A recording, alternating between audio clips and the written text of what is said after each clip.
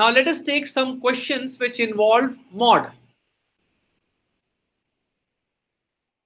Can I move on to the next question? Anything that you want to copy from here, please do that because I'm going to clear the screen.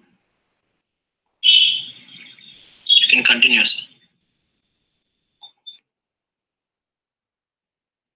All right.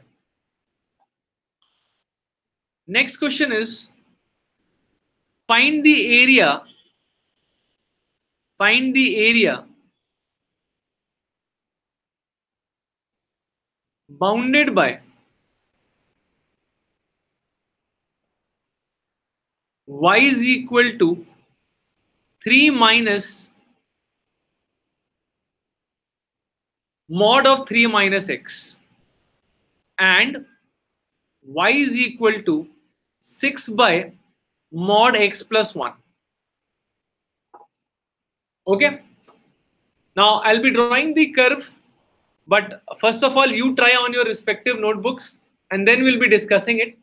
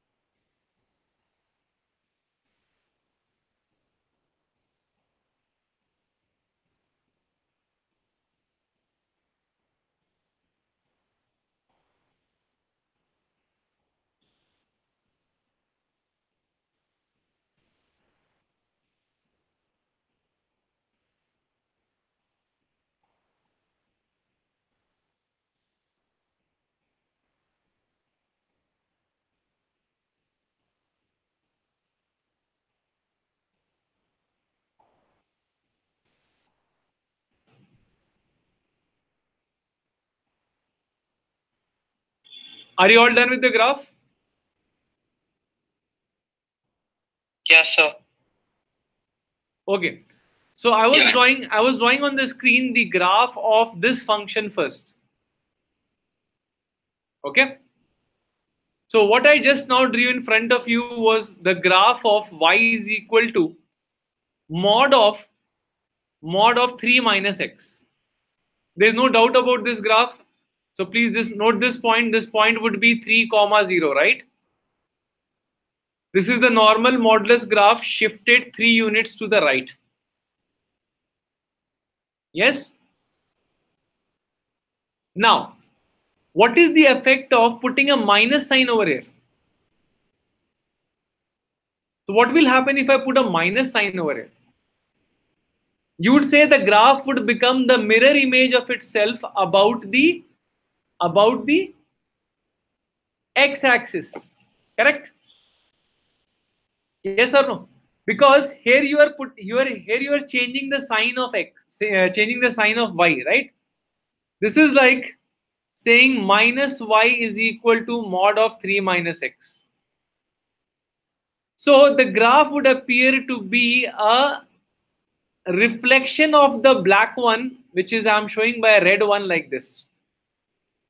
And this point will be now 0 comma minus 3. Correct? Now, what is the effect of adding a 3 over here? What will happen if I add a 3 to this? Can I say the entire graph will now shift up by 3? Yeah. So can I say this entire scenario would appear to be like this? Yes or no? Where would this point go? This point will go at 3 comma 3 if I'm not wrong.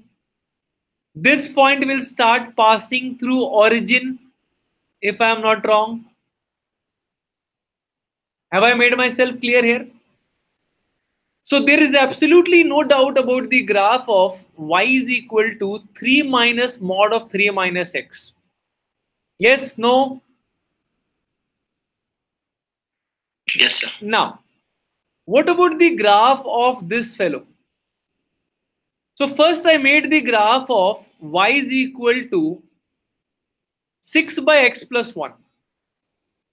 Remember this, that this is going to be a graph which is derived from the graph of a rectangular hyperbola, which is actually of the nature y is equal to 1 by x.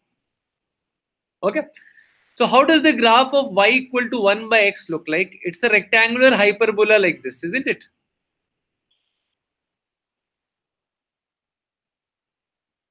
Correct? Yes or no? Now, if I multiply it with 6, it's just that it is going to change its curvature a bit. However, the position of these two parts or these two arms of the rectangular hyperbola are not going to change. Now, what is the effect of adding a 1 to the x? What is the effect of adding a 1 to the x? You would say the graph is going to shift 1 units to the left, isn't it? So now this will become your x equal to minus 1 and it will be asymptotic to this line. Yes or no? Correct? Now, the reason why I'm not drawing the negative side of the graph is because what will happen is I'm going to mod this first of all. That means I'm modding the entire thing. Yes or no?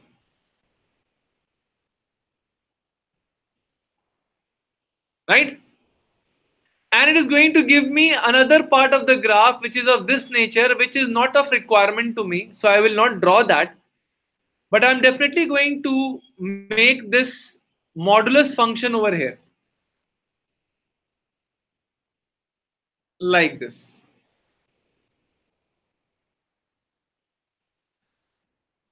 So what i have done i have drawn this graph now in the main graph so which area am I looking at?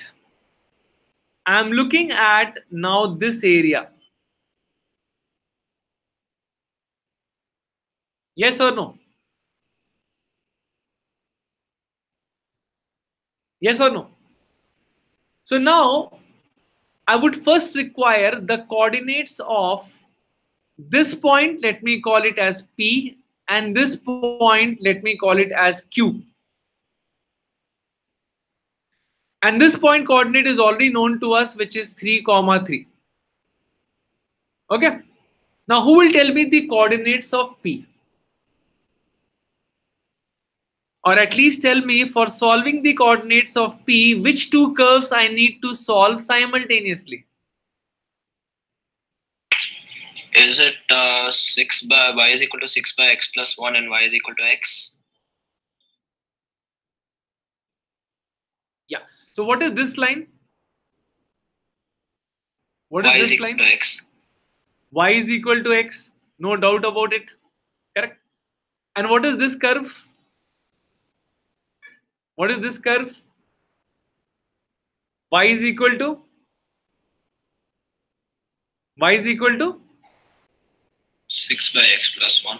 6 by x plus 1 correct so i'm going to simultaneously solve both of them. That means i'm going to solve this equation which is going to give me x into x plus 1 equal to 6 now i can be smart over here realizing that 6 is 2 into 3 my x will be 2 no doubt about it.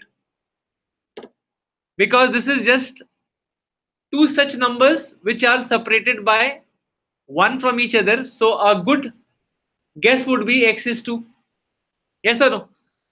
So at this point my x is going to be 2 right? Yes or no? Now what about the coordinates of point q? For getting q, which two curves I need to solve?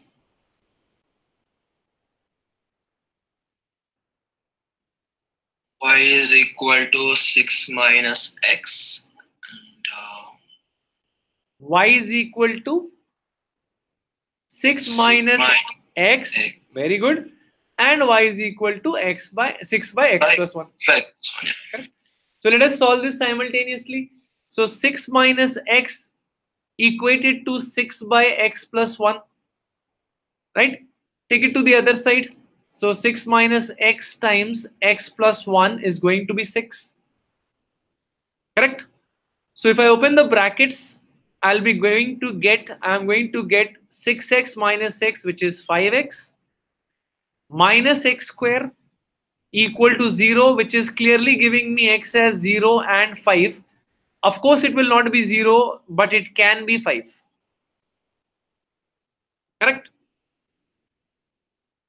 Now, make no mistakes about getting the coordinates of these points because let me tell you, friends, they are going to decide your limits of integration. Is that clear? Now, how many types of strips will I be requiring to cover up this entire area?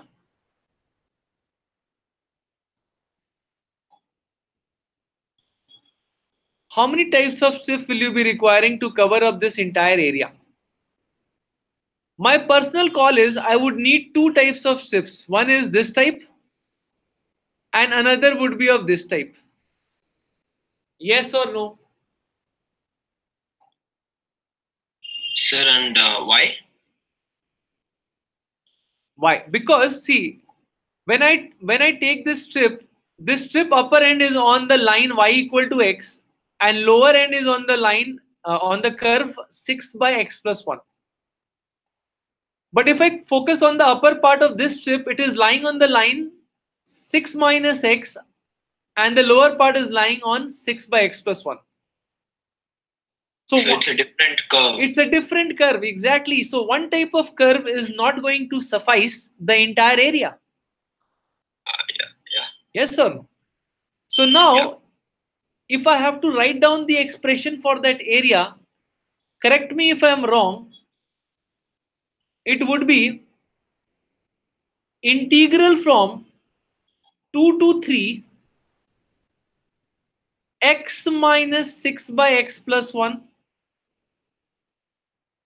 and this would give me the area of this first type of strip right? Upper is x lower is 6 by x plus 1 upper minus lower upper minus lower correct? And i'm going from 2 to 3 this is x equal to 3 right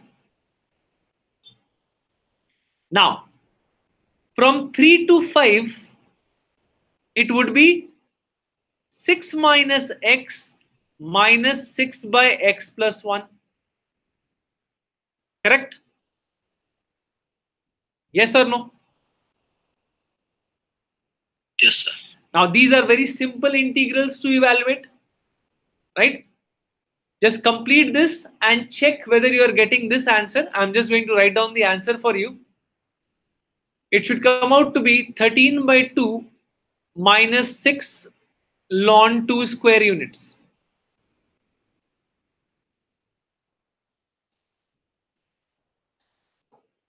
okay i'll give you just 2 minutes quickly just check whether you are getting this answer or not Yes, sir. Got it. Are you getting that? Excellent. Can I move on to the next question? See, here basically we are going to solve lot and lot of questions. Okay. So let me go so, to the so next before one. that, can I have a small break? Yeah, sure. You can take a small break right now. Can we resume after just five minutes? Yeah, okay. Okay, sir. Okay. Yes, sir. All of you are ready now? All right. Had a good break? Yeah. Okay, all right. Fine. So now uh, let us take up some uh, questions which are based on different types of functions. We have mostly covered log function, exponential functions, uh, polynomial functions.